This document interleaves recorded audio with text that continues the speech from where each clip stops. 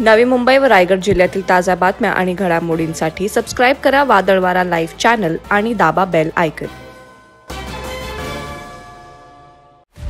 पन्नास दिवसात पैसे दीडपट मिळतील तीस दिवसात पैसे डबल मिळतील.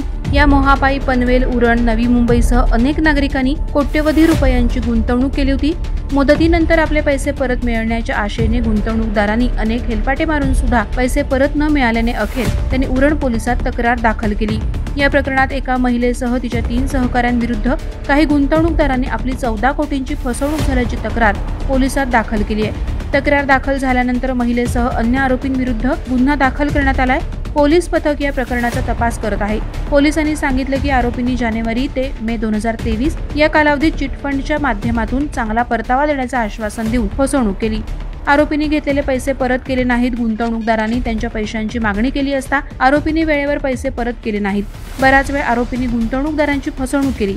काही गुंतवणूकदारांची सुमारे चौदा कोटी रुपयांची फसवणूक केल्याप्रकरणी एका महिलेसह चार जणांविरुद्ध गुन्हा दाखल करण्यात आल्याचं पोलिसांनी सांगितलं.